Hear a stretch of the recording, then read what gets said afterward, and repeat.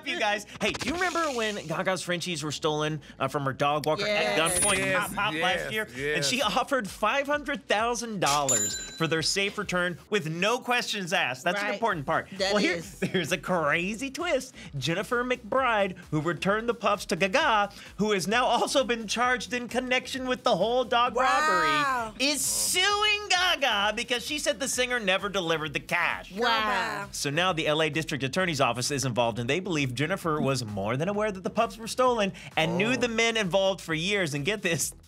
The icing, this is the icing on top. The DA said Jennifer thought she could get away with this scheme because she is a white woman. Uh oh, That's yeah. about right. Yeah. I believe it. She can Yeah. kick rocks barefoot because you can't be involved in the crime Right. and expect And to get paid for turning the dogs and dogs get in. paid. Yeah. Yeah, it's it's morally wrong, but my good sis did say no questions asked. She that's sure the thing. did, It honey. don't matter. You you steal my dogs. I'll be damned if I'm giving you two dollars. Now, Gary, you've been a white woman your whole life, honey.